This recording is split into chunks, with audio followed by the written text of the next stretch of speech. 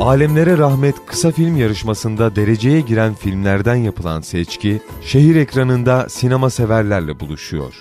Ramazan sineması, Ramazan ayı boyunca her gün saat 23.30'da şehirekranı.com'da.